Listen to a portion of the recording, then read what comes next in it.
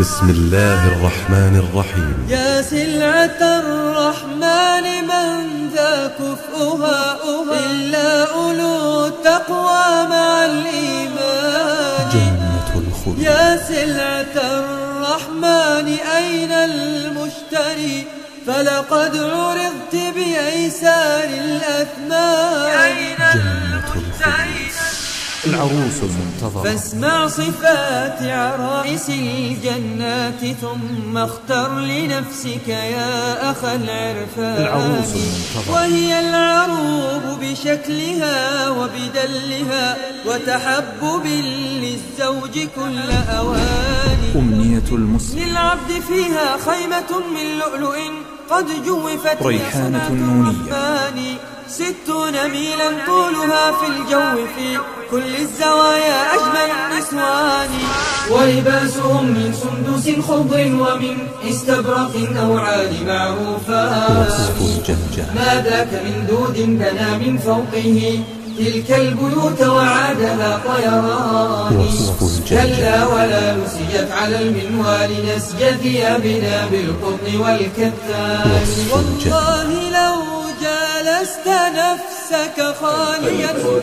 القادسية تقدم الإصدار الثاني من نونية ابن القيم في وصف الجنة. وصف الجنة. وسنتناولها من البيت رقم 4931 إلى البيت رقم 5698 وصف الجنة. بصوت الأخ فارس عباد. يا خاطب الحور الحسان وطالبا لوصالهن بجنة الحيوان. لو كنت تدري من خطبت وما طلبت بذلت ما تحوي من الأثمان. أو كنت تعرف أين مسكنها جعلت السعي منك لها على الأجفان. ولقد وصفت طريق مسكنها فإن رمت الوصال فلا تكن متواني. أسرع وحث السير جهدك إنما مسراك هذا ساعة لزماني.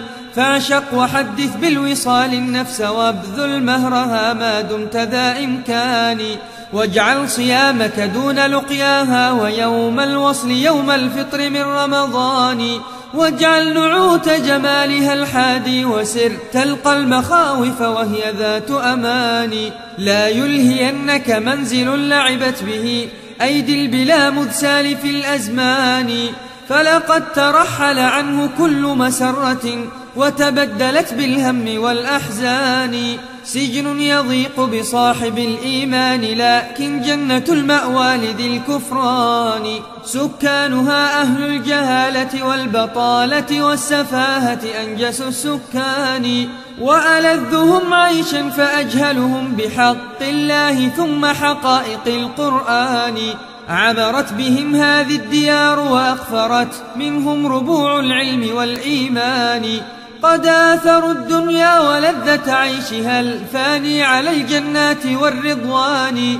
صحبوا الأماني وابتلوا بحظوظهم ورضوا بكل مذلة وهوان. كدحا وكدا لا يفتر عنهم ما فيه من غم ومن أحزان. والله لو شاهدت هاتيك الصدور رأيتها كمراجل النيران. ووقودها الشهوات والحسرات والآلام لا تخبو على الأزمان.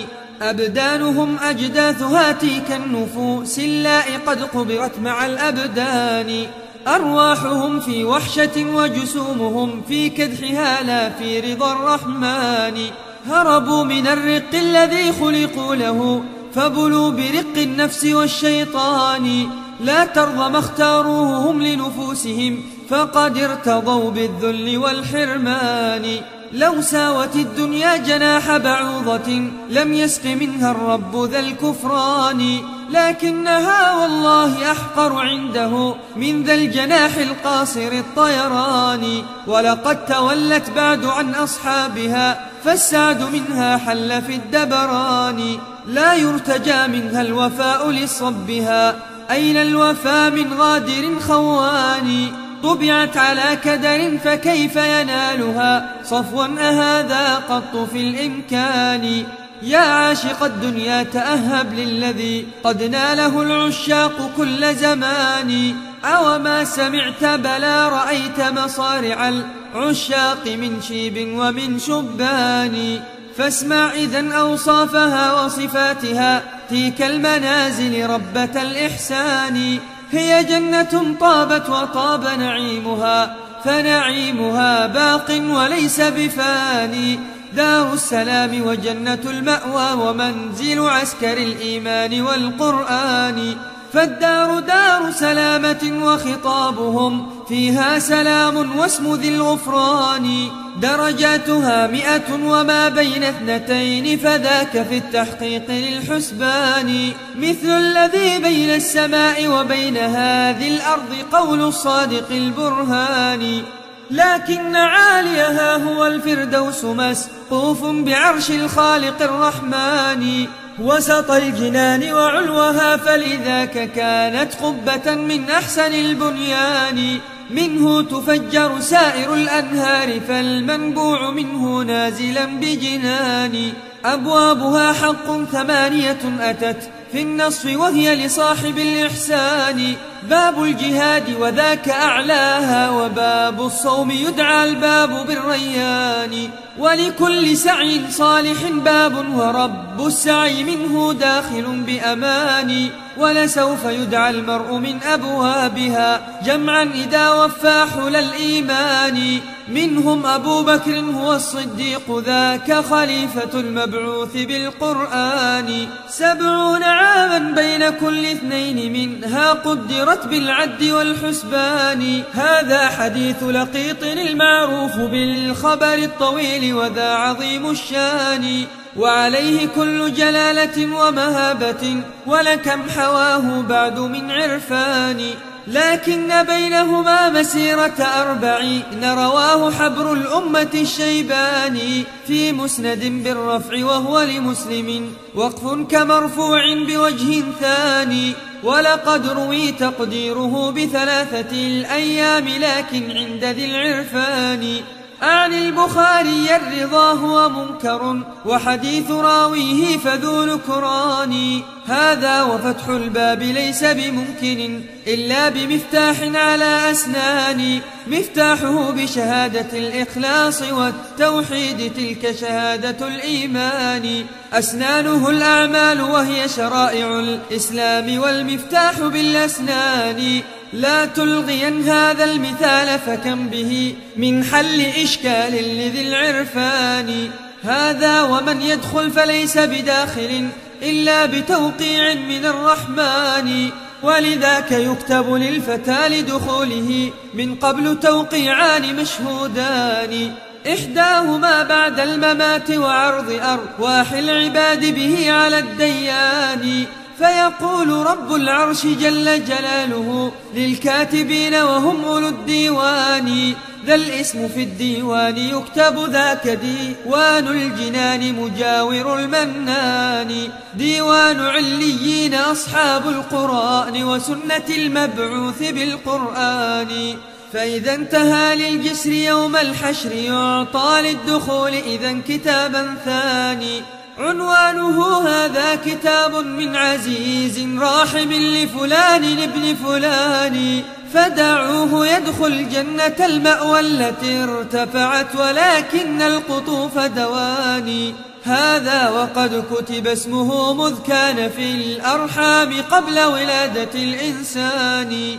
بل قبل ذلك وهو وقت القبضتين كلاهما للعدل والإحسان. سبحان ذي الجبروت والملكوت والإجلال والإكرام والسبحان. والله أكبر عالم الإسرار والإعلان واللحظات بالأجفان. والحمد لله السميع لسائر الأصوات من سر ومن إعلان. وهو الموحد والمسبح والممجد والحميد ومنزل القرآن والأمر من قبل ومن بعد له سبحانك اللهم ذا السلطان. هذا وإن صفوفهم عشرون مع مئة وهذه الأمة الثلثان. يرويه عنه بريدة إسناده شرط الصحيح بمسند الشيباني. وله شواهد من حديث أبي هريرة وابن مسعود وحبر زمان. أعني ابن عباس وفي إسناده رجل ضعيف غير ذي إتقان. ولقد أتانا في الصحيح بأنهم شطر وما اللفظان مختلفان. إذ قال أرجو أن تكونوا شطرهم هذا رجاء منه للرحمن. أعطاه رب العرش ما يرجو وزاد من العطاء فعال ذي الإحسان. هذا وأول زمرة فوجوههم كالبدر ليل الست بعد ثمان. السابقون هم وقد كانوا هنا أيضا أولي سبق إلى الإحسان. والزمرة الأخرى كأضواء كوكب في الأفق تنظره به العينان.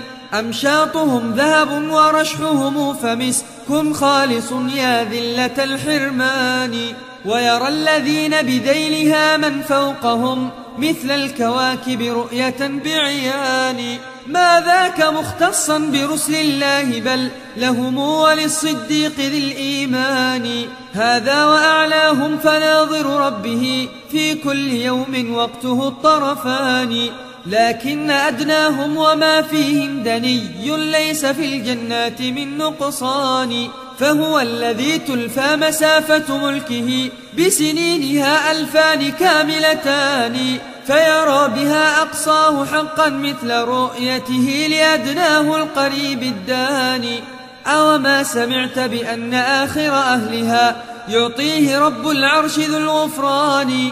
أضعاف دنيانا جميعا عشر أمثال لها سبحان ذي الإحسان. هذا وسنهم ثلاث مع ثلاثين التي هي قوة الشبان. وصغيرهم وكبيرهم في ذا على حد سواء ما سوى الولدان. ولقد روى الخدري أيضا أنهم أبناء عشر بعدها عشران وكلاهما في الترمذي وليس ذا بتناقض بل ها هنا أمران. حذف الثلاث ونيف بعد العقود وذكر ذلك عندهم سيان.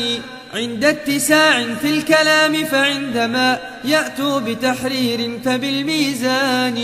والطول طول أبيهم ستون لكن عرضهم سبع بلا نقصان. والطول صح بغير شك في الصحيحين اللذين هما لنا شمسان. والعرض لم نعرفه في إحداهما لكن رواه أحمد الشيباني. هذا ولا يخفى التناسب بينها ذا العرض والطول البديع الشاني كل على مقدار صاحبه وذا تقدير متقن صنعة الإنسان. ألوانهم بيض وليس لهم لحى جعد الشعور مكحل الأجفان. هذا كمال الحسن في أبشارهم وشعورهم وكذلك العينان. ولقد أتى أثر بأن لسانهم بالمنطق العربي خير لسان لكن في إسناده نظر ففيه راويان وما هما ثبتان. أعني العلاء هو ابن عمرو ثم يحيى الأشعري وذان مغموزان والريح توجد من مسيرة أربعين وإن تشى مئة فمرويان. وكذا روي سبعين أيضا صحها ذا كله وأتى به أثران. ما في رجالهما لنا من مطعن والجمع بين الكل ذو إمكان. ولقد أتى تقديره مئة بخمس ضربها من غير ما نقصان. إن صح هذا فهو أيضا والذي من قبله في غاية الإمكان. إما بحسب المدركين لريحها قربا وبعدا ما هما سيان. أو باختلاف قرارها وعلوها أيضا وذلك واضح التبيان. أو باختلاف السير أيضا فهو أنواع بقدر إطاقة الإنسان. ما بين ألفاظ الرسول تناقض بل ذاك في الأفهام والأذهان. ونظير هذا سبق أهل الفقر للجنات في تقديره أثران. مئة بخمس ضربها أو أربعين كلاهما في ذاك محفوظان. فأبو هريرة قد روى أولاهما وروى لنا الثاني صحابيان. هذا بحسب تفاوت الفقراء في استحقاق سبقهم إلى الإحسان. أو ذا بحسب تفاوت في الأغنياء كلاهما لا شك موجودان. هذا وأولهم دخولا خير خلق الله من قد خص بالفرقان. والأنبياء على مراتبهم من التفضيل تلك مواهب المنان. هذا وأمة أحمد سباق باقي الخلق عند دخولهم لجنان. وأحقهم بالسبق أسبقهم إلى الإسلام والإيمان والتصديق بالقرآن.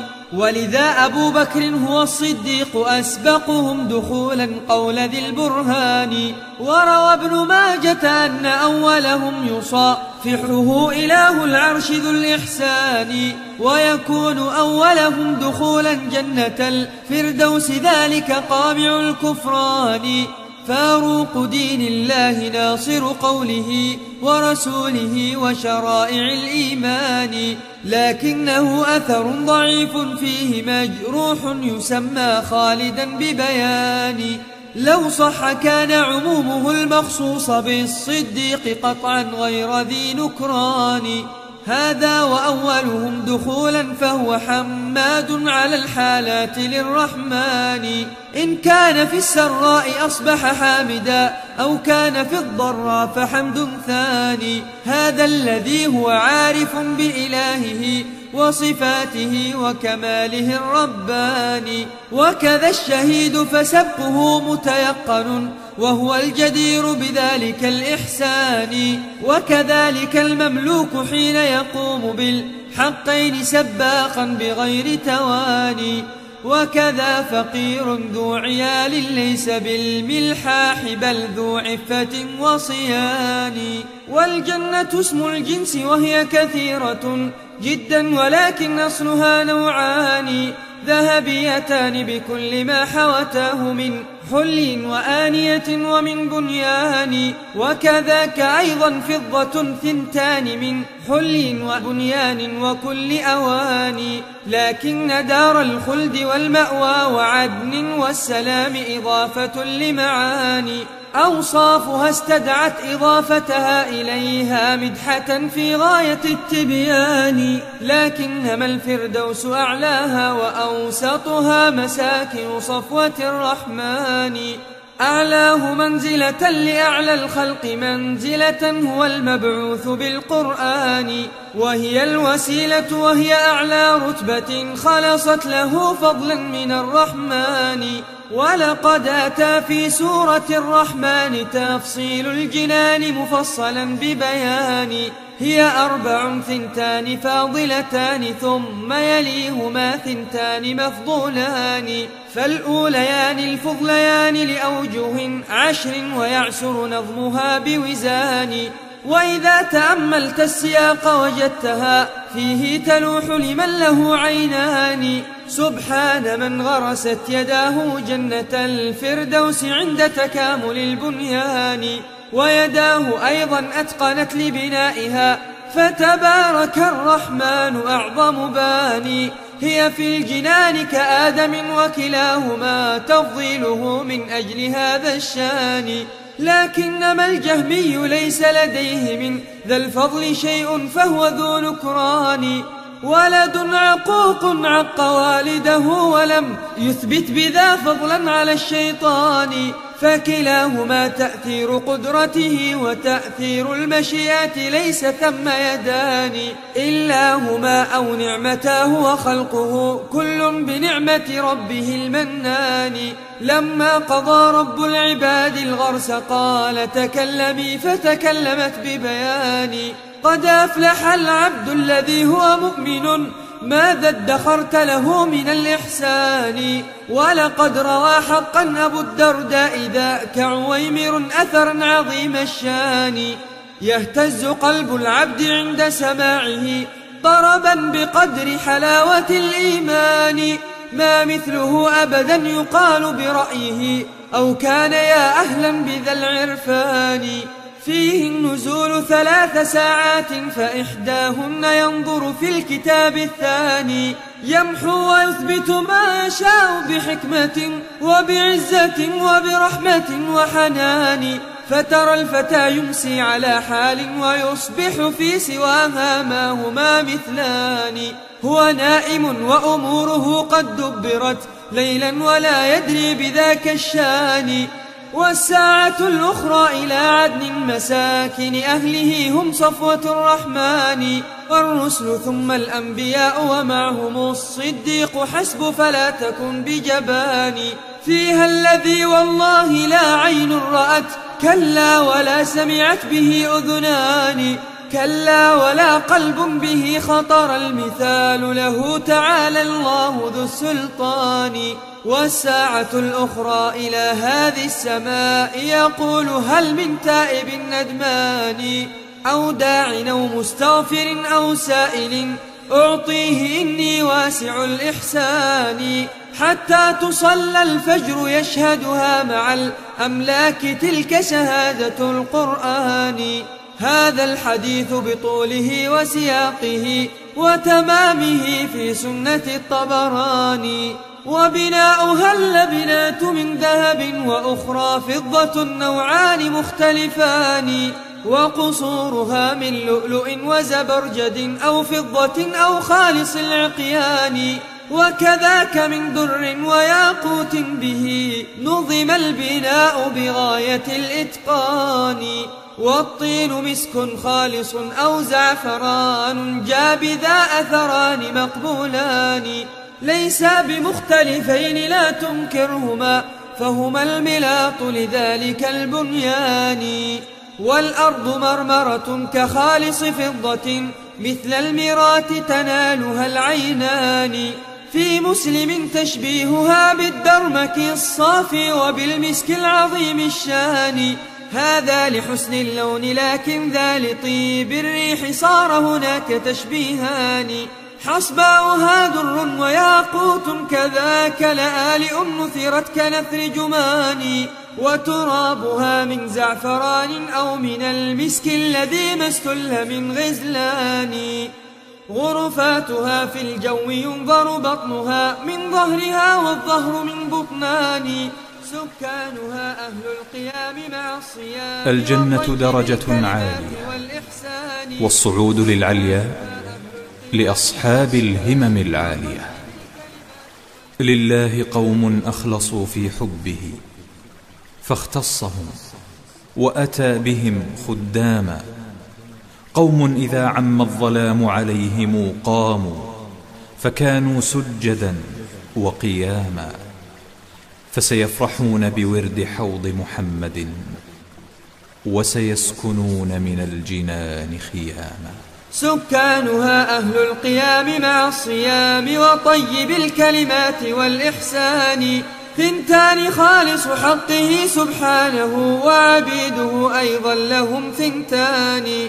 للعبد فيها خيمة من لؤلؤ قد جوفت هي صنعة الرحمن. ستون ميلا طولها في الجو في كل الزوايا أجمل النسوان. يغشى الجميع فلا يشاهد بعضهم بعضا وهذا لاتساع مكان. فيها مقاصير بها الأبواب من ذهب ودر زين بالمرجان. وخيامها منصوبة برياضها وشواطئ الأنهار ذي الجريان. ما في الخيام سوى التي لو قابلت للنيرين لقلت منكسفان. لله هاتيك الخيام فكم بها للقلب من علق ومن أشجان. فيهن حور قاصرات الطرف خيرات حسان هن خير حسان. خيرات أخلاق حسان أوجها فالحسن والإحسان متفقان. فيها الأرائك وهي من سرور عليهن. الحجال كثيرة الألوان لا تستحق اسم الأرائك دونها. تلك الحجال وذاك وضع لساني بشخانة يدعونها بلسان فارس وهو ظهر البيت ذو الأركان. أشجارها نوعان منها ما له في هذه الدنيا مثال داني كالسدر أصل النبق مخضود مكان الشوق من ثمر ذوي ألوان. هذا وظل السدر من خير الظلال ونفعه الترويح للأبدان. وثماره أيضا ذوات منافع من بعضها تفريح ذي الأحزان. والطلح وهو الموز منضود كما نضدت يد بأصابع وبنان. أو أنه شجر البوادي موقرا حملا مكان الشوك في الأغصان. وكذلك الرمان والأعناب والنخل التي منها القطوف دوان. هذا ونوع ما له في هذه الدنيا نظير كي يرى بعيان. يكفي من التعداد قول إلهنا من كل فاكهة بها زوجان. وأتوا به متشابها في اللون مختلف الطعوم فذاك ذو ألوان أو أنه متشابه في الاسم مختلف الطعوم فذاك قول ثاني أو أنه وسط خيار كله فالفحل فيه ليس ذا ثنيان أو أنه لثمارنا ذو شبه في اسم ولون ليس يختلفان لكن بهجتها ولذة طعمها أمر سوى هذا الذي تجدان. فيلذها في الأكل عند منالها وتلذها من قبله العينان. قال ابن عباس وما بالجنة العليا سوى أسماء ما تريان. يعني الحقائق لا تماثل هذه وكلاهما في الاسم متفقان. يا طيب هاتيك الثمار وغرسها في المسك ذاك الترب للبستان وكذلك الماء الذي يسقى به يا طيب ذاك الورد للظمآن. وإذا تناولت الثمار أتت نظيرتها فحلت دونها بمكان. لم تنقطع أبدا ولم ترقب مسير الشمس من حمل إلى ميزان. وكذاك لم تمنع ولم تحتج إلى أن ترتقى للقنو في العيدان. بل ذللت تلك القطوف فكيفما شئت انتزعت بأسهل الإمكان. ولقد أتى أثر بأن الساق من ذهب رواه الترمذي ببيان. قال ابن عباس وهاتيك الجذوع زمرد من أحسن الألوان. ومقطعاتهم من الكرب الذي فيها ومن سعف من العقيان وثمارها ما فيه من عجم كأمثال القلال فجل ذو الإحسان. وظلالها ممدودة ليست تقي حرا ولا شمسا وأناذان أوما سمعت بظل أصل واحد فيه لسير الراكب العجلان. مئة سنين قدرت لا تنقضي. هذا لعظم الأصل والأفنان. ولقد روى الخدري أيضا أن طوبى قدرها مئة بلا نقصان. تتفتح الأكمام منها عن لباسهم بما شاءوا من الألوان. قال ابن عباس ويرسل ربنا ريحا تهز ذوائب الأغصان. فتثير أصواتا تلذ لمسمع الإنسان كالنغمات بالأوزان. يا لذة الأسماع لا تتعوضي بلذاذة الأوتار والعيدان. أوما سمعت سماعهم فيها غناء الحور بالأصوات والألحان. وهل لذياك السماع فإنه ملئت به الأذنان بالإحسان؟ وهل لذياك السماع وطيبه من مثل أقمار على أغصان؟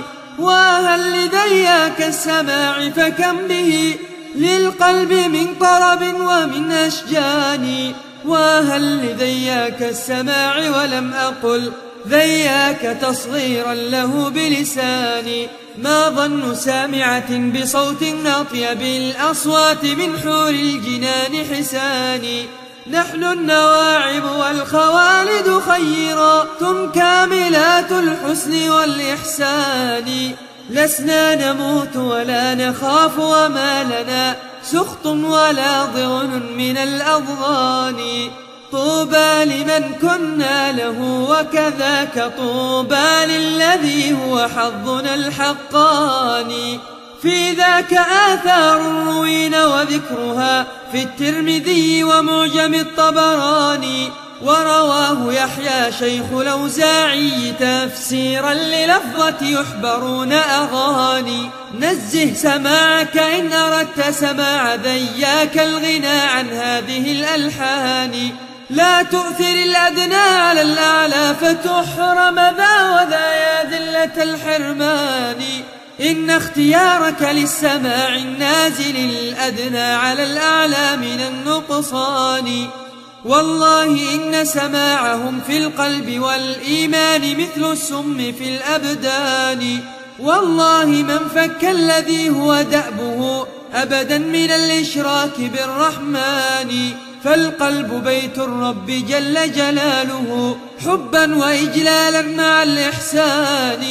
فإذا تعلق بالسماع أصاره عبدا لكل فلانة وفلان.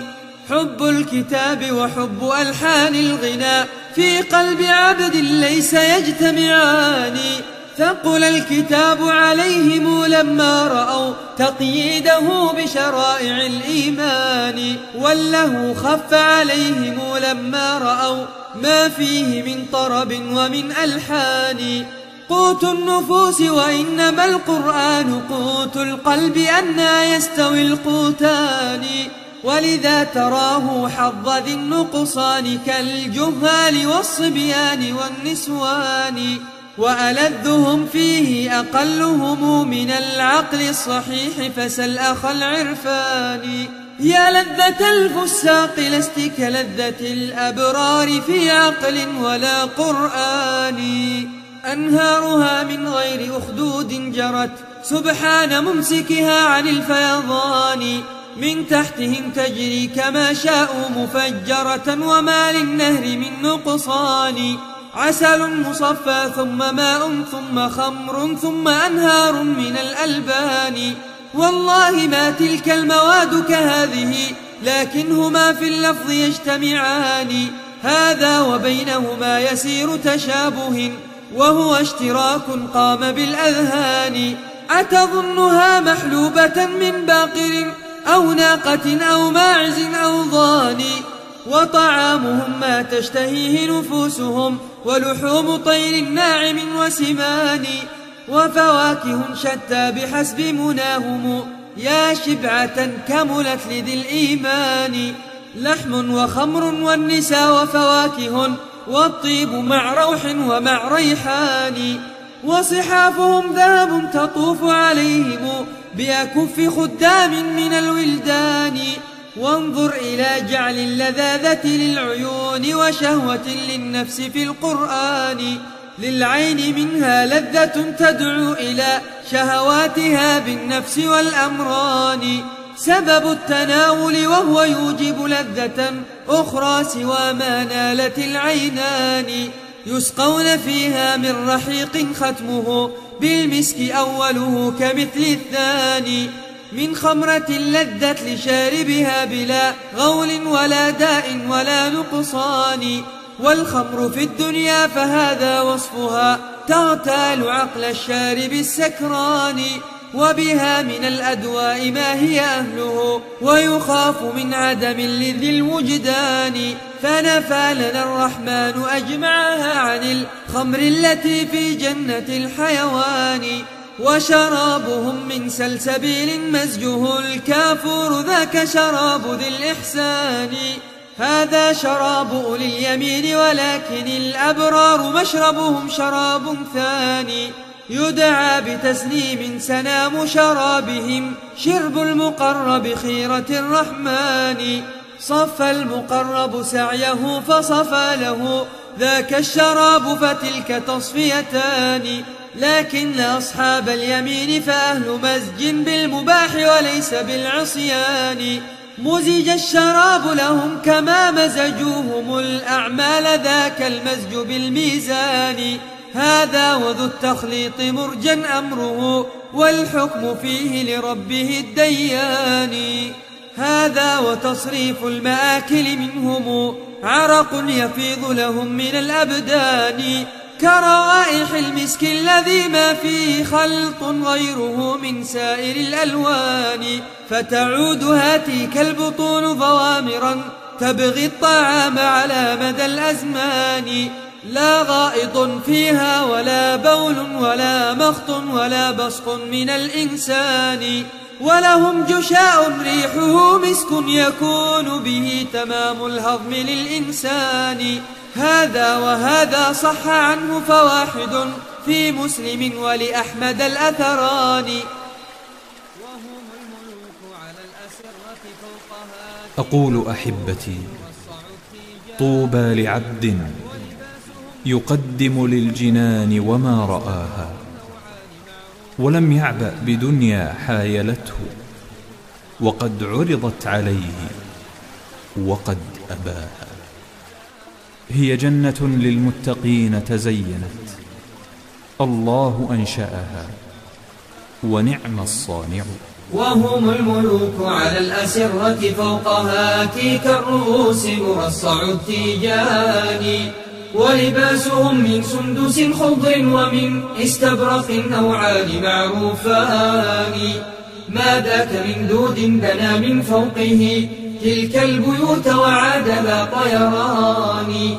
كلا ولا نسيت على المنوال نسج ثيابنا بالقطن والكتان. حلل تشق ثمارها عنها فتبدو كالرياط بأحسن الألوان. بيض وخضر ثم صفر ثم حمر شبهت بشقائق النعمان. لا تقبل الدنس المقرب للبلا ما للبلا أبدا بهن يدان. ونصيف إحداهن وهو خمارها ليست له الدنيا من الأثمان. سبعون من حلل عليها لا تعوق الطرف عن مخ ورسيقان. لكن تراه من وراء ذا كله مثل الشراب لدى زجاج أواني. والفرش من استبرق قد بطنت ما ظنكم بظهارة لبطان. مرفوعة فوق الأسرة يتكي هو والحبيب بخلوة وأمان. يتحدثان على الأرائك ما ترى حبين في الخلوات ينتجيان. هذا وكم زربية ونمارق ووسائد صفت بلا حسبان. والحلي أصفى لؤلؤ وزبرجد وكذاك أسورة من العقيان ما ذاك يختص الإناث وإنما هو للإناث كذاك للذكران. التاركين لباسه في هذه الدنيا لأجل لباسه بجنان. أو ما سمعت بأن حليتهم إلى حيث انتهاء وضوئهم بوزان وكذا وضوء أبي هريرة كان قد فازت به العضدان والساقان وسواه أنكر ذا عليه قائلا ما الساق موضع حلية الإنسان ما ذاك إلا موضع الكعبين والزندين للساقان والعضدان ولذاك أهل الفقه مختلفون في هذا وفيه عندهم قولان. والراجح الأقوى انتهاء وضوئنا للمرفقين كذلك الكعبان. هذا الذي قد حده الرحمن في القرآن لا تعدل عن القرآن. واحفظ حدود الرب لا تتعدها وكذاك لا تجنح إلى النقصان. وانظر إلى فعل الرسول تجده قد أبدى المراد وجاء بالتبيان. ومن استطاع يطيل غرته فموقوف على الراوي هو الفوقان. فأبو هريرة قال ذا من كيسه فغدا يميزه أولو العرفان. ونعيم الراوي له قد شك في رفع الحديث كذا روى الشيباني وإطالة الغرات ليس بممكن أبدا وذا في غاية التبيان. يا من يطوف بكعبة الحسن التي حفت بذاك الحجر والأركان ويظل يسعى دائما حول الصفا ومحسر مسعاه للعلمان. ويروم قربان الوصال على منا والخيف يحجبه عن القربان. فلذا تراه محرما أبدا وموضع حله منه فليس بداني يبغي التمتع مفردا عن حبه متجردا يبغي شفيع قراني فيظل بالجمرات يرمي قلبه هذه مناسكه بكل زمان. والناس قد قضوا مناسكهم وقد حثوا ركائبهم إلى الأوطان وحدت بهم همم لهم وعزائم نحو المنازل أول الأزمان.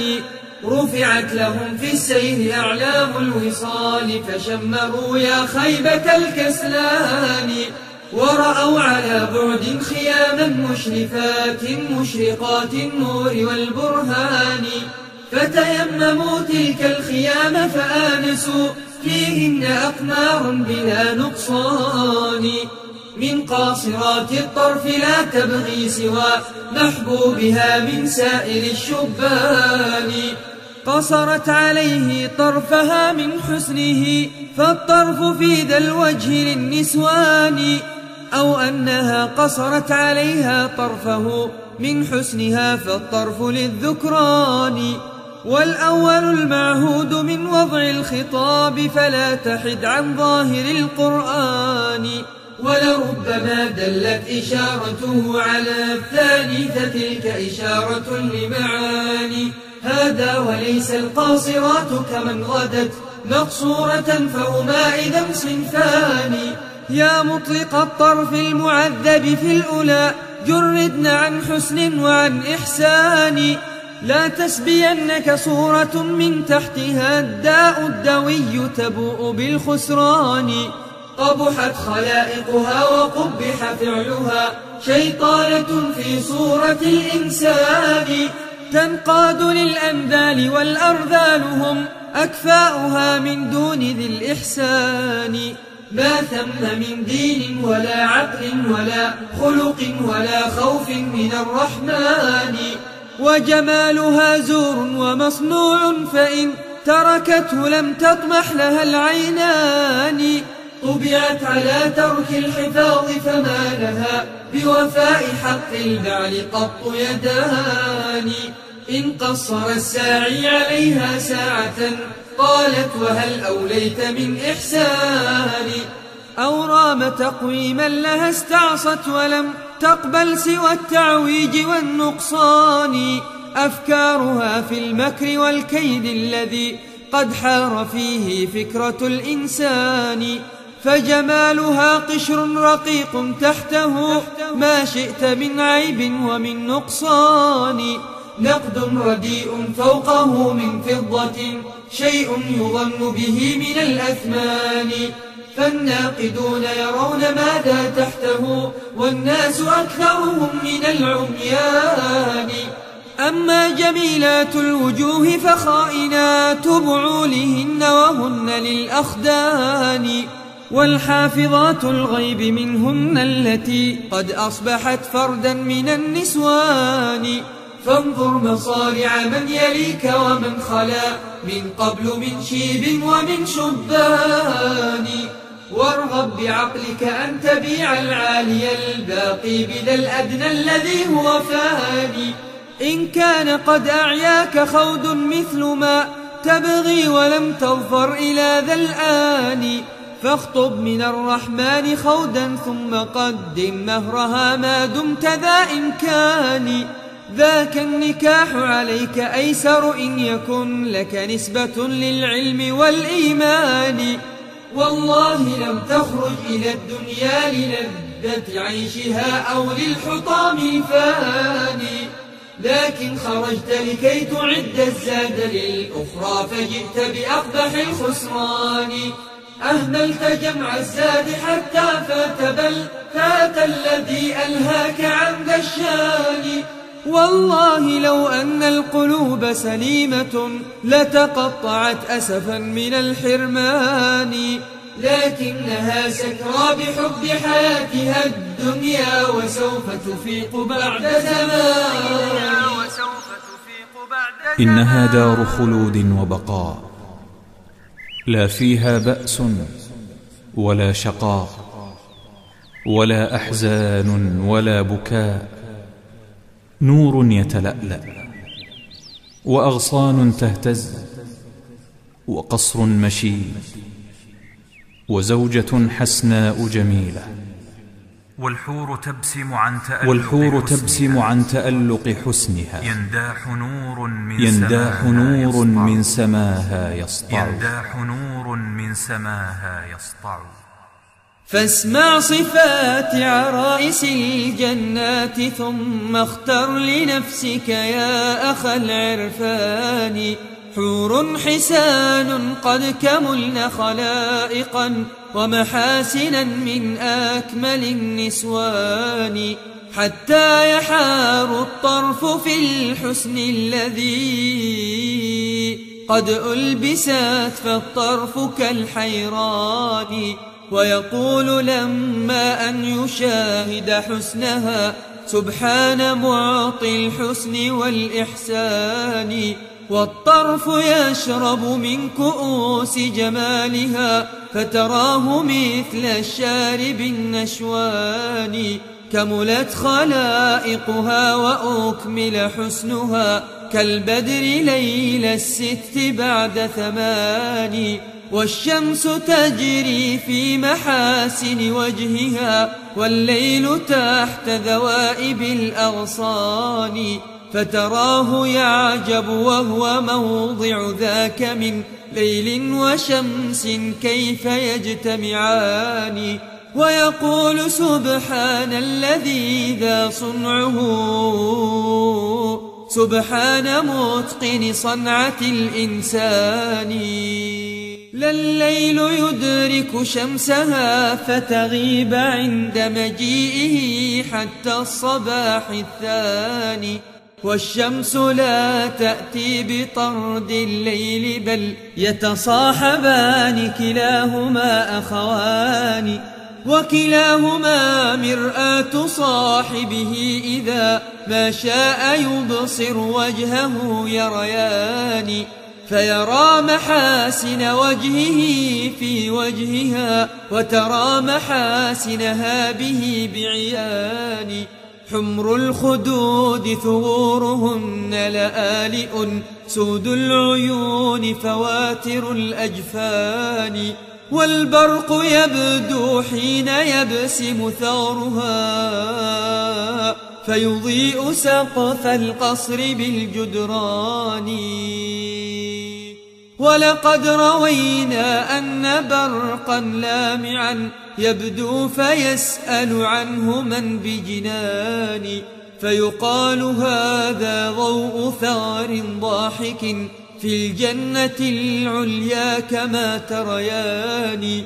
لله لاثم ذلك الثغر الذي في لثبه إدراك كل أمان ريانة الأعطاف من ماء الشباب فغصنها بالماء ذو جريان لما جرى ماء النعيم بغصنها حمل الثمار كثيرة الألوان فالورد والتفاح والرمان في غصن تعالى غارس البستان والقد منها كالقضيب اللدن في حسن القوام كأوسط القضبان. في مغرس كالعاج تحسب أنه عال النقاء واحد الكثبان. لا الظهر يلحقه وليس ثديها. بلواحق للبطن أو بدواني. لكنهن كواعب ونواهد فنهودهن كألطف الرمان. والجيد ذو طول وحسن في بياض واعتدال ليس ذا نكران. يشكو الحلي بعاده فله مدى الأيام وسواس من الهجران. والمعصمان فإن تشاء شبههما بسبيكتين عليهما كفان. كالزبد لينا في نعومة ملمس أصداف در دورت بوزان والصدر متسع على بطن لها حفت به خصران ذات ثمان. وعليه أحسن سرة هي مجمع الخصرين قد غارت من الأعكان. حق من العاج استدار حوله حبات مسك جل ذو الإتقان. وإذا انحدرت رأيت أمرا هائلا. ما للصفات عليه من سلطان. لا الحيض يغشاه ولا بول ولا شيء من الآفات في النسوان. فخذان قد حفى به حرسا له فجنابه في عزة وصيان. قاما بخدمته هو السلطان بينهما وحق طاعة السلطان. وهو المطاع أميره لا ينتهي عنه ولا هو عنده بجبان. وجماعها فهو الشفاء لصبها فالصب منه ليس بالضجران. وإذا يجامعها تعود كمن تشات بكرا بغير دم ولا نقصان. فهو الشهي وعضه لا ينثني جاء الحديث بذا بلا نكران. ولقد روينا أن شغلهم الذي قد جاء في ياسين دون بيان. شغل العروس بعرسه من بعد ما عبثت به الأشواق طول زمان. بالله لا تسأله عن أشغاله. تلك الليالي شأنه ذو شان واضرب له مثلا بصب غاب عن محبوبه في شاسع البلدان والشوق يزعجه إليه وما له بلقائه سبب من الإمكان وافى إليه بعد طول مغيبه. عنه وصار الوصل ذا إمكان أتلومه أم صار ذا شغل به؟ لا والذي أعطى بلا حسبان. يا رب غفرا قد طغت أقلامنا. يا رب معذرة من الطغيان.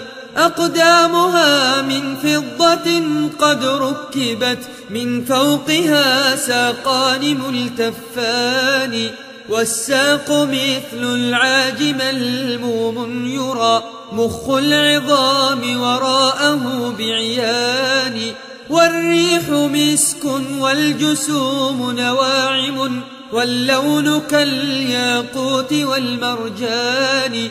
وكلامها يسبي العقول بنغمة زادت على الأوتار والعيدان وهي العروب بشكلها وبدلها وتحبب للزوج كل أوان وهي التي عند الجماع تزيد في حركاتها للعين والآذان. لطفا وحسن تبعل وتغنج وتحبب تفسير ذي العرفان تلك الحلاوة والملاحة أوجبا إطلاق هذا اللفظ وضع لساني فملاحة التصوير قبل غناجها هي أول وهي المحل الثاني فإذا هما اجتمعا لصب وامق بلغت به اللذات كل مكان. أتراب سن واحد متماثل سن الشباب لأجمل الشبان. بكر فلم يأخذ بكارتها سوى المحبوب من إنس ولا من جان. حصن عليه حارس من أعظم الحراس باسا شأنه ذو شان. وإذا أحس بداخل للحصن ولا هاربا فتراه ذا إمعان. ويعود وهنا حين رب الحصن يخرج منه فهو كذا مدى الأزمان. وكذا رواه أبو هريرة أنها تنصاع بكرا للجماع الثاني لكن دراجا أبا السمح الذي فيه يضعفه أولو الإتقان.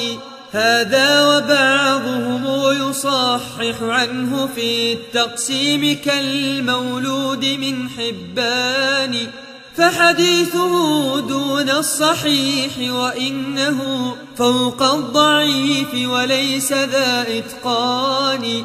يعطي المجامع قوة المئة التي اجتمعت لأقوى واحد الإنسان. لا أن قوته تضاعف هكذا. إذ قد يكون أضيعف الأركان. ويكون أقوى منه ذا نقص من الإيمان والأعمال والإحسان. ولقد روينا أنه يغشى بيوم واحد مئة من النسوان.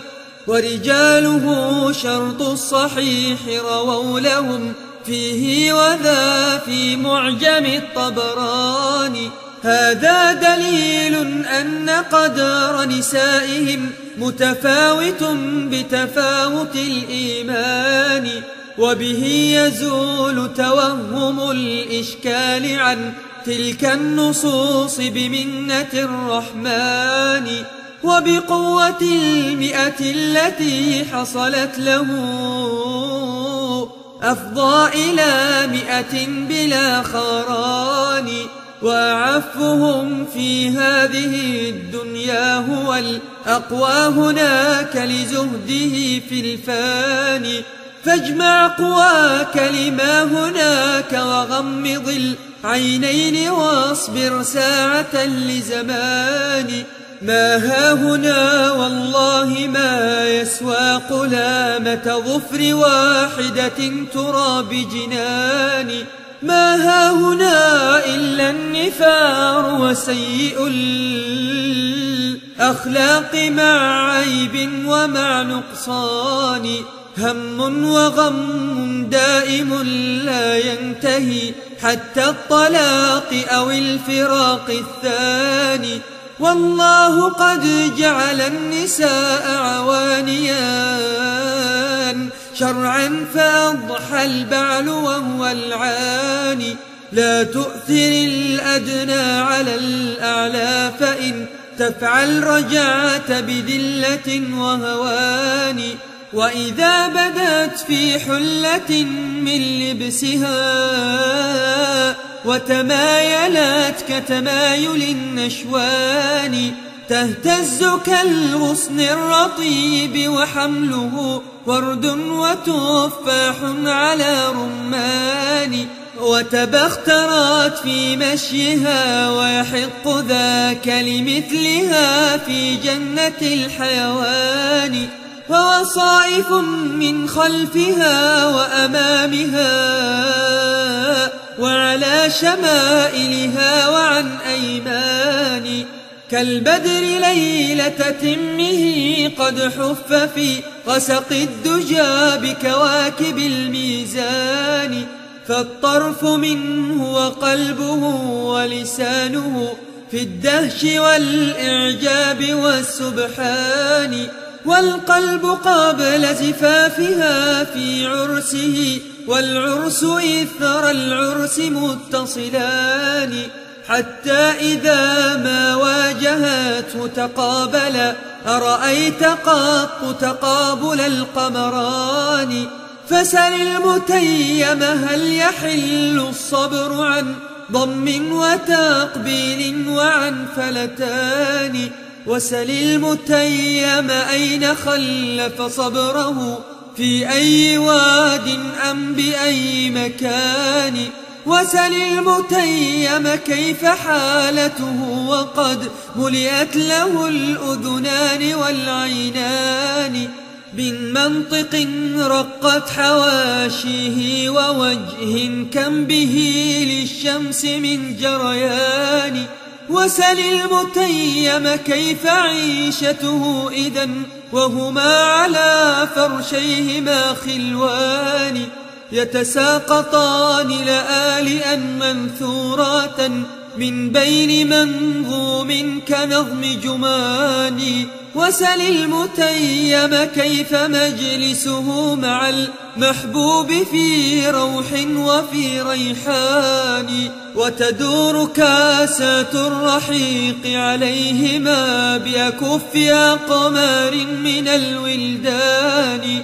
يتنازعان الكأس هذا مرة والخوض أخرى ثم يتكئان فيضمها وتضمه أرأيت معشوقين بعد البعد يلتقيان غاب الرقيب وغاب كل منكد وهما بثوب الوصل مشتملان أتراهما ضجرين من ذا العيش لا وحياة ربك ما هما ضجران ويزيد كل منهما حبا لصاحبه جديدا سائر الأزمان فوصاله يكسوه حبا بعده متسلسلا لا ينتهي بزمان فالوصل محفوف بحب سابق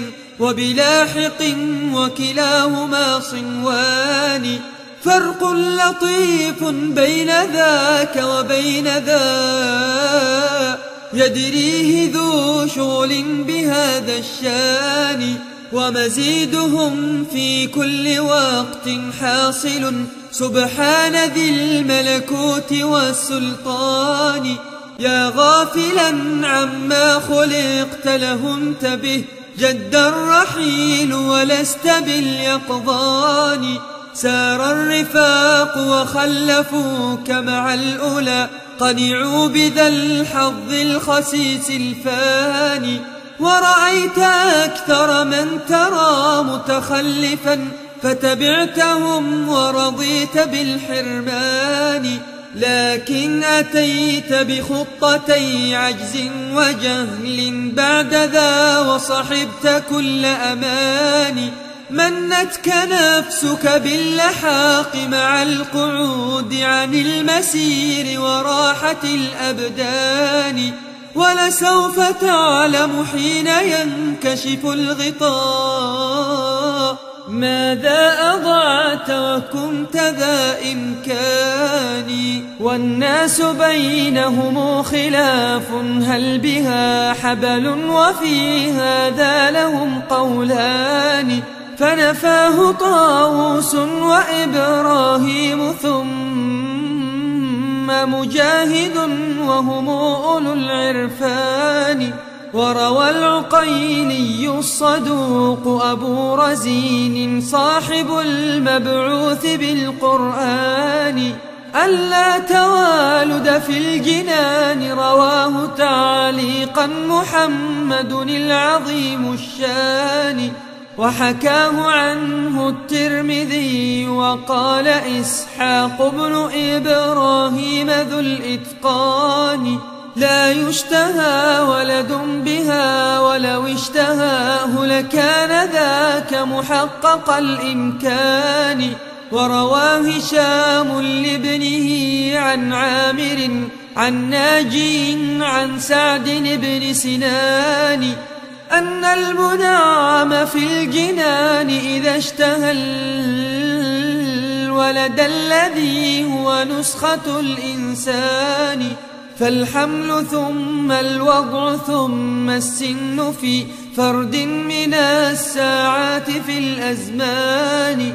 إسناده عندي صحيح قد رواه الترمذي وأحمد الشيباني ورجال ذا الإسناد محتج بهم في مسلم وهم أولو إتقان. لكن غريب ما له من شاهد فرد بذا الإسناد ليس بثاني لولا حديث أبي رزين كان ذا كالنص يقرب منه في التبيان ولذاك أوله ابن إبراهيم بالشرط الذي هو منتفي الوجدان وبذاك رام الجمع بين حديثه وأبي رزين وهو ذو إمكان. هذا وفي تأويله نظر فإن إذا لتحقيق وذي إيقان. ولربما جاءت لغير تحقق والعكس في إن ذاك وضع لسان. واحتج من نصر الولادة أن في الجنات سائر شهوة الإنسان. والله قد جعل البنين مع النساء من أعظم الشهوات في القرآن. فأجيب عنه بأنه لا يشتهي ولدا ولا حبلا من النسوان. واحتج من منع الولادة أنها ملزومة أمران ممتنعان. حيض وإنزال المني وذلك الأمران في الجنات مفقودان. لكنما الموجود نوع غير معهود فماذا النفي والإثبات متحدان؟ وروى صدي عن رسول الله أن منيهم إذ ذاك ذو فقدان.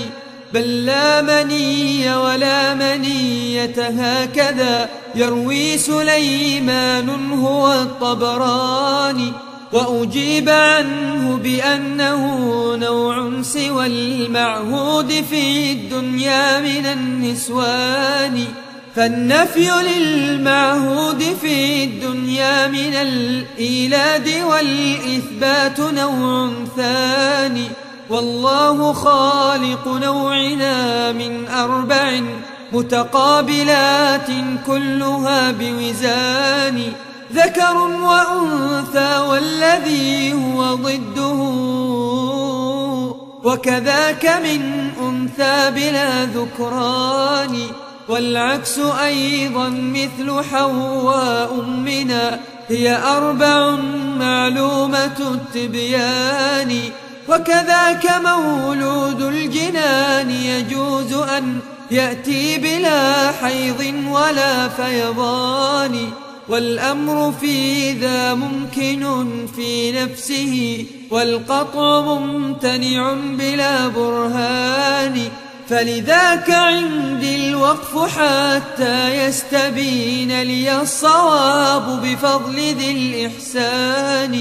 ويرونه سبحانه من فوقهم نظر العيان كما يرى القمران. هذا تواتر عن رسول الله لم ينكره إلا فاسد الإيمان.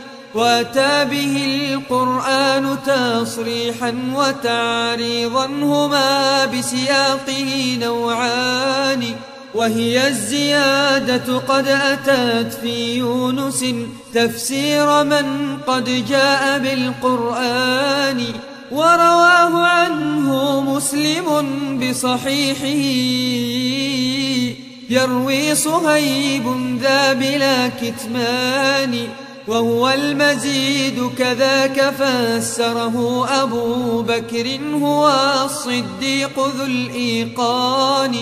وعليه أصحاب الرسول وتابعوا هم بعدهم تبعية الإحسان. ولقد أتى ذكر اللقاء لربنا الرحمن في سور من القرآن. ولقاؤه إذ ذاك رؤيته حكى الإجماع فيه جماعة ببيان. وعليه أصحاب الحديث جميعهم لغة وعرفا ليس يختلفان. هذا ويكفي أنه سبحانه وصف الوجوه بنظرة بجنان وأعاد أيضا وصفها نظرا وذا لا شك يفهم رؤية بعيان. واتت أداة إلى لرفع الوهم من فكر كذاك ترقب الإنسان وأضافه لمحل رؤيتهم بذكر الوجه إذ قامت به العينان. تالله ما هذا بفكر وانتظار مغيب أو رؤية بجنان. ما في الجنان من انتظار مؤلم واللفظ يأباه لذي العرفان. لا تفسدوا لفظ الكتاب فليس فيه حيلة يا فرقة الروغان. ما فوق ذا التصريح شيء ما الذي يأتي به من بعد ذا التبيان. لو قال أبين ما يقال لقلتم هو مجمل ما فيه من تبيان. ولقد أتى في سورة التطفيف أن القوم قد حجبوا عن الرحمن. فيدل بالمفهوم أن المؤمنين يرونه في جنة الحيوان.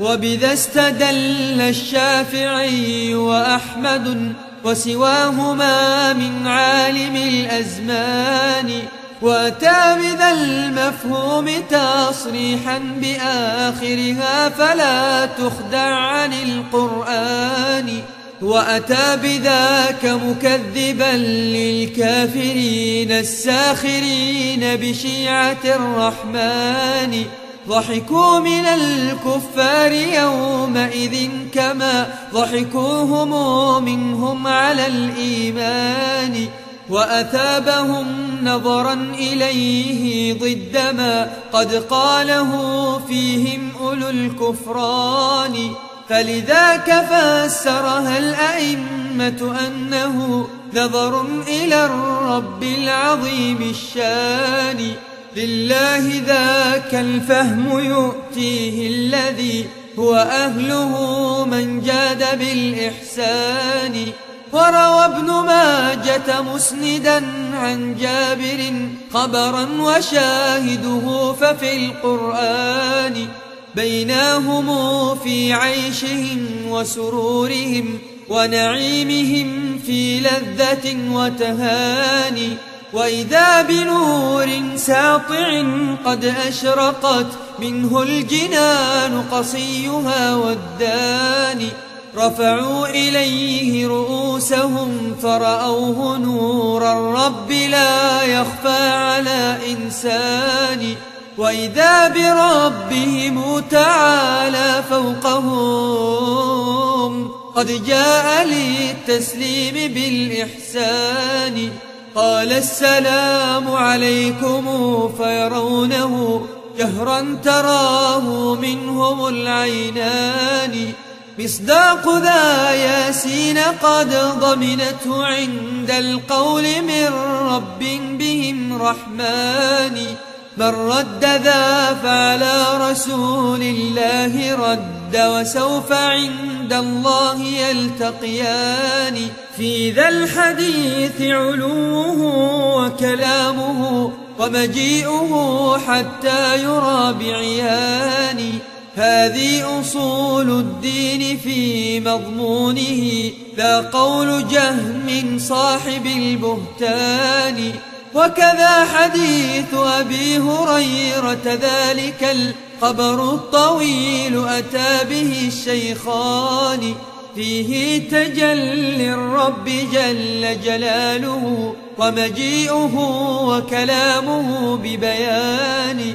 وكذاك رؤيته وتكليم لمن يختاره من أمة الإنسان.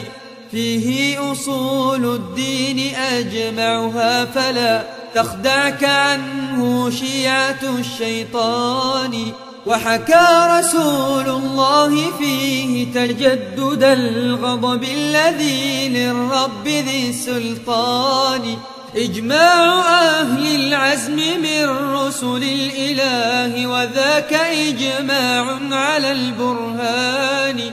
لا تخدعن عن الحديث بهذه الآراء فهي كثيرة الهذيان. أصحابها أهل التخرص والتناقض والتهاتر قائل البهتان.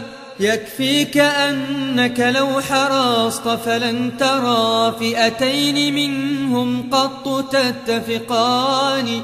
إلا إذا ما قلدوا لسواهما فتراهم جيلا من العميان ويقودهم أعمى يظن كمبصر يا محنة العميان خلف فلان هل يستوي هذا ومبصر رشده الله أكبر كيف يستويان أوما سمعت منادي الإيمان يخبر عن منادي جنة الحيوان يا أهلها لكم لدى الرحمن وعد وهو منجزه لكم بضمان قالوا أما بيضت أوجهنا كذا أعمالنا ثقلت في الميزان وكذاك قد أدخلتنا الجنات حين أجرتنا حقا من النيران. فيقول عندي موعد قد آن أن أعطيكموه برحمتي وحناني فيرونه من بعد كشف حجابه. جهرا رواه مسلم ببيان. ولقد أتانا في الصحيحين اللذين هما أصح الكتب بعد قرآن برواية الثقة الصدوق جرير البجلي عمن جاء بالقرآن أن العباد يرونه سبحانه رؤيا العيان كما يرى القمران فإن استطعتم كل وقت فاحفظوا البردين ما عشتم مدى الأزمان ولقد روى بضع وعشرون امرأ من صحب أحمد خيرة الرحمن. أخبار هذا الباب عمن قد أتى بالوحي تفصيلا بلا كتمان.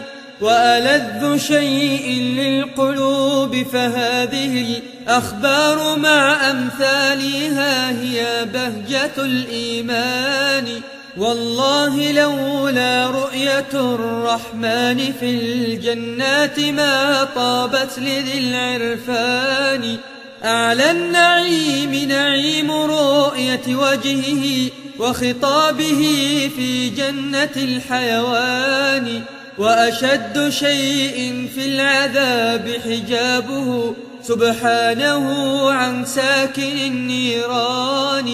وإذا رآه المؤمنون نسوا الذي هم فيه مما نالت العينان. فإذا توارى عنهم عادوا إلى لذاتهم من سائر الألوان. فلهم نعيم عند رؤيته سوى هذا النعيم فحبذا الأمران.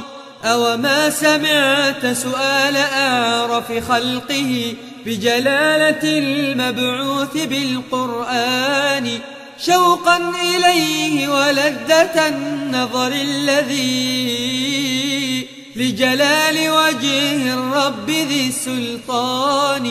فالشوق لذة روحه في هذه الدنيا ويوم قيامة الأبدان تلتذ بالنظر الذي فازت به دون الجوارح هذه العينان والله ما في هذه الدنيا ألذ من اشتياق العبد للرحمن وكذاك رؤية وجهه سبحانه هي أكمل اللذات للإنسان.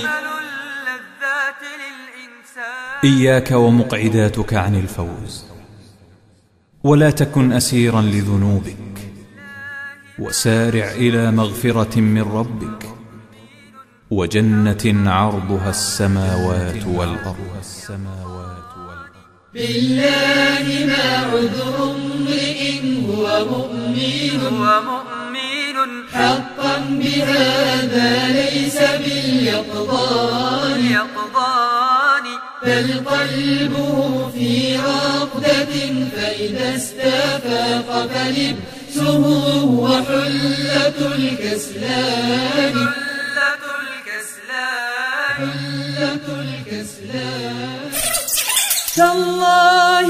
شاقتك جنات النعيم طلبتها بنفائس الأثمان وسعيت جهدك في وصال نواعم وكواعب بيض الوجوه حسان جليت عليك عرائس والله لو تجلى على صخر من الصوان رقت حواشيه وعاد لوقته.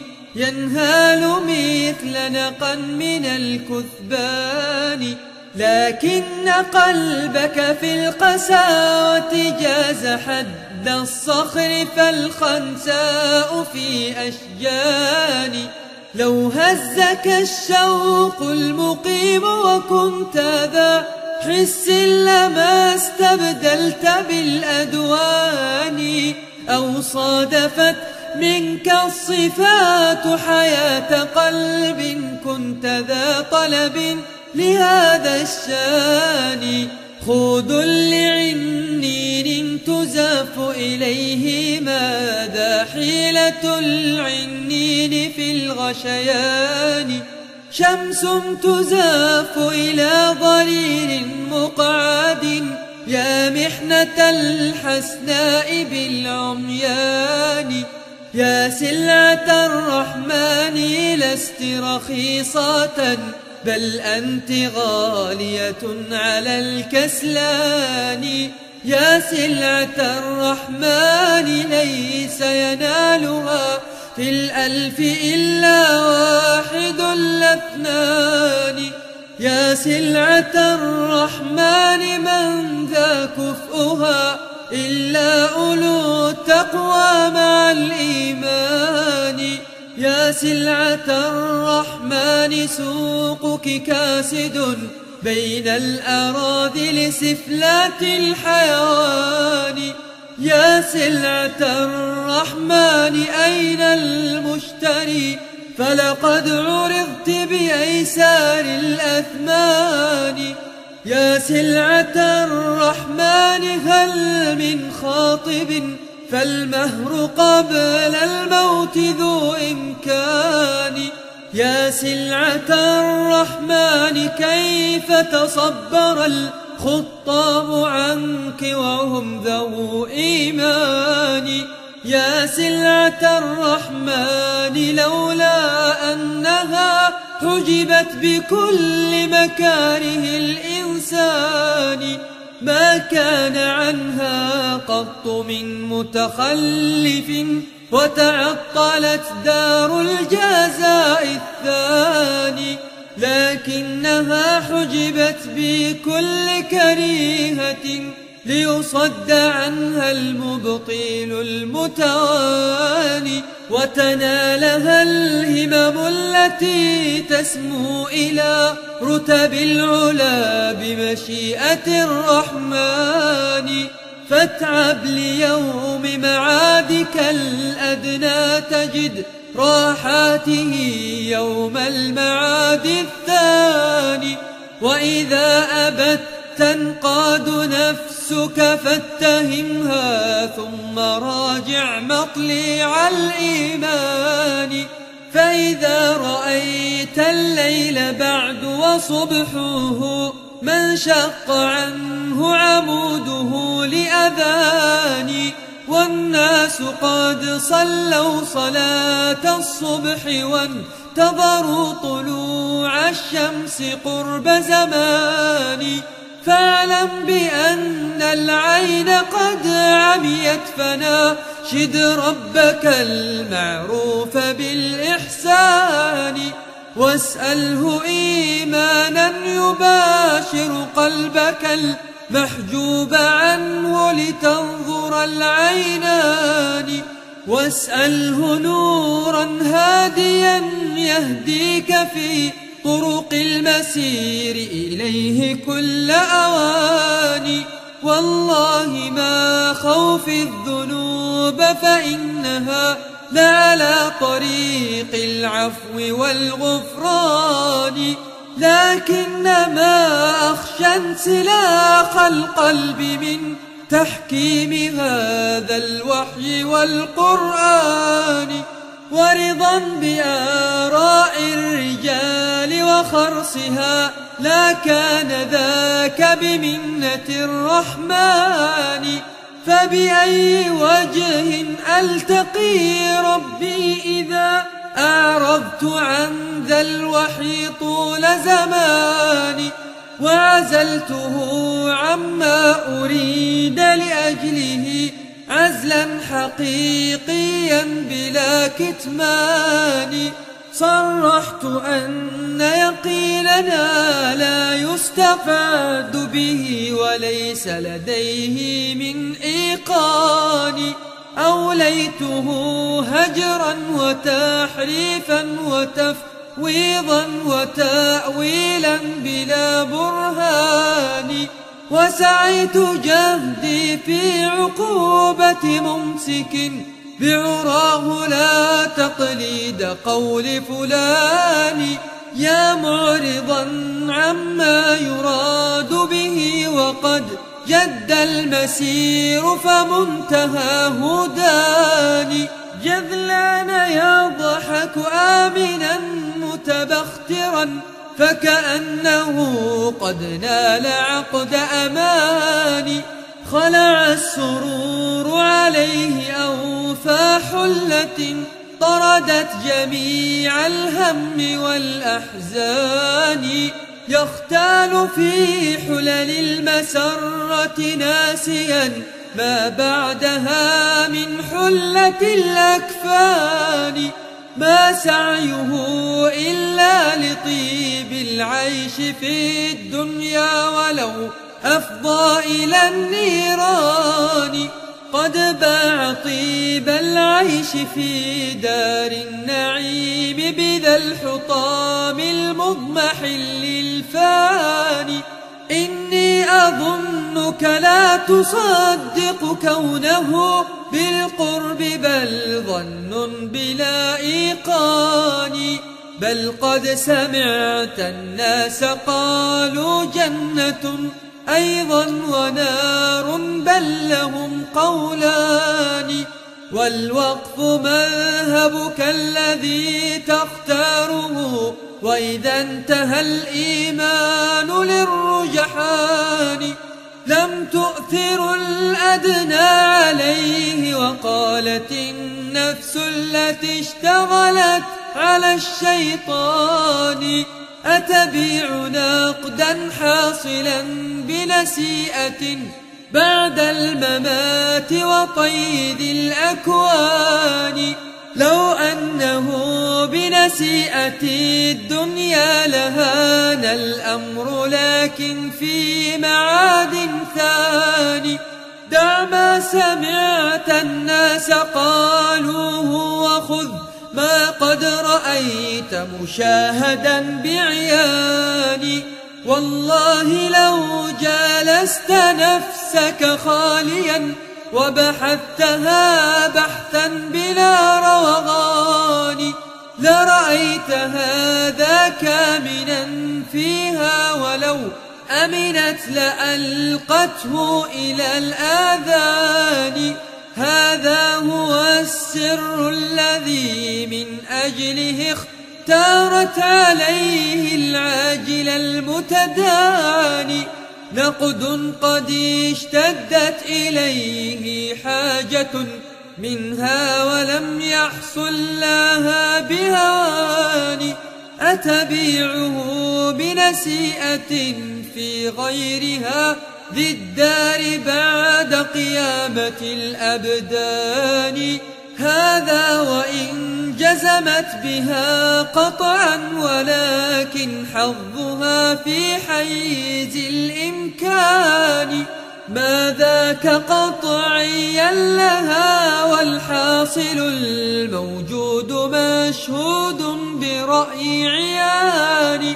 فتألفت من بين شهوتها وشبهتها قياسات من البطلان واستنتجت منها رضا بالعاجل الأدنى على الموعود بعد زمان وأتى من التأويل كل ملائم لمرادها يا رقة الإيمان وصغت إلى شبهات أهل الشرك والتعطيل مع نقص من العرفان. واستنقصت أهل الهدى ورأتهم في الناس كالغرباء في البلدان.